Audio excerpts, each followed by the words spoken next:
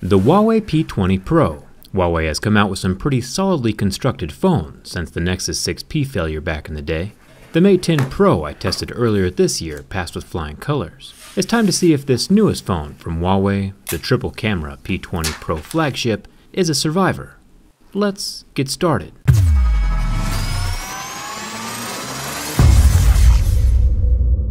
Inside the box we get the charging cable, headphones with a USB-C connector, and the international wall charger, since this particular phone isn't coming to the USA.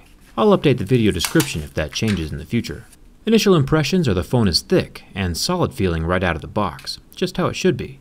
We'll start with the scratch test. Laying out my Mohs hardness scale, if you remember this tells us what hardness level the screen is. Plastic would be a level 3, tempered glass is a level 6, and sapphire would be a level 8. Diamonds, of course, would be a 10.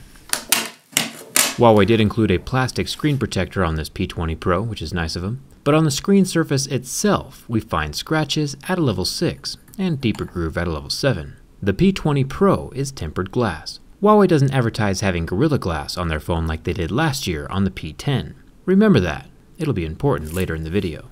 First thing I noticed about this phone besides the notch is the earpiece. It's a little circular thing just oogling at you like some kind of second eyeball right next to the 24 megapixel front facing camera. Most earpieces are little slits for optimal sound transfer from the rectangular speaker underneath, but this guy is a circle. It'll be interesting to see if the speaker is circular as well during the teardown.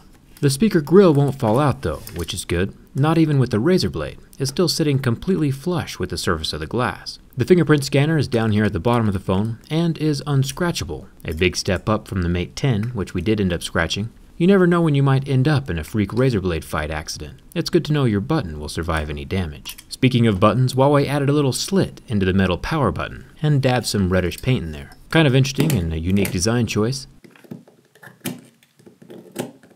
The volume rocker is also made from metal, and we can tell from the sound it's making The sides are also metal. Up at the top of the phone, we are headphone jackless.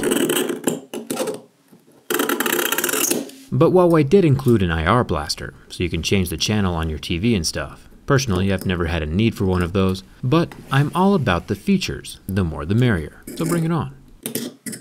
We have a metal dual SIM card tray, but no expandable memory. No headphone jack on the bottom of the phone either, just the loudspeaker and USB-C charging port. For the back of the phone, this one is a midnight blue version, we get our first look at the triple camera setup. Super impressive by the way. I like what's happening here, and I'll say it again. The more features a phone has, the better. And the extra camera options on this guy is a good thing. The logos and Leica branding are all under the glass and won't be coming off from the outside, along with the dual tone dual LED flash tucked safely under that back glass panel. If we zoom in real tight on the camera lenses, down here at the bottom we have the 20 megapixel monochrome sensor covered with glass and a circular metal lip around the sides.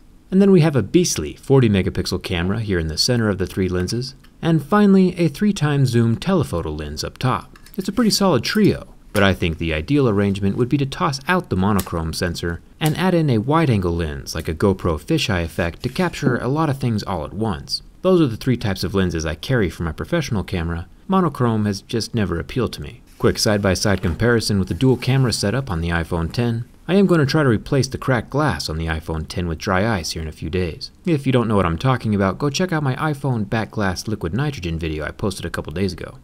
And now for the burn test. No offense, France, I didn't realize I was burning down the Eiffel Tower until it was too late. I apologize. This is a 1080p 6.1 inch AMOLED display, meaning it lasted for about 20 seconds under my flame, but then never recovered. The flame left a white spot on the screen even when the screen is off. Once again, sorry France, and thanks again for the Statue of Liberty. That was real nice of you. And now the bend test. This is where things go downhill. First of all, with the initial flex, it bends way more than I anticipated. Normally, phones are much more solid than this. With that massive flex, the glass display is now shattered with multiple fractures. The damage is all contained in the glass, nothing transferred down to the AMOLED display underneath, but it is still rather unfortunate. I'll do a quick bend from the back of the phone before we go into the structural analysis, but with that second bend, no extra damage is done to the front or rear of the phone. It appears as if the cracks emanated from the level 7 pick marks left on the surface, meaning that without the damage I intentionally introduced to the surface of the glass, it might have survived the first bend. But an important thing to remember is that these impurities or scratches introduced to the surface of the glass can also occur in real life, in your pocket, or with minor drops, dents, and dings. And even more interesting to note is that I've tested over 100 different phones now over the past few years, and most of them don't shatter during the bin test, even with the level 6 and 7 scratches in the glass. So it's kind of safe to say that this Huawei P20 Pro is just weaker in general. My theory is that Huawei didn't advertise Corning Gorilla Glass on this particular phone, and with the vast majority of other phones that I test, some form of Gorilla Glass is installed. Based off the sample size of tested phones on my channel, Corning holds up better than generic cell phone glass, even after damage has been introduced. The Huawei P20 Pro still functions though, so it's not a catastrophic failure. I don't think that it deserves a spot on my shelf of shame, but it still didn't exactly pass. I need a new category for phones that survive, but barely. What should we call it? Remember a case and a screen protector go a long way to making your device last longer. Hit that subscribe button if you haven't already, and come hang out with me on Instagram. Thanks a ton for watching, and I'll see you around.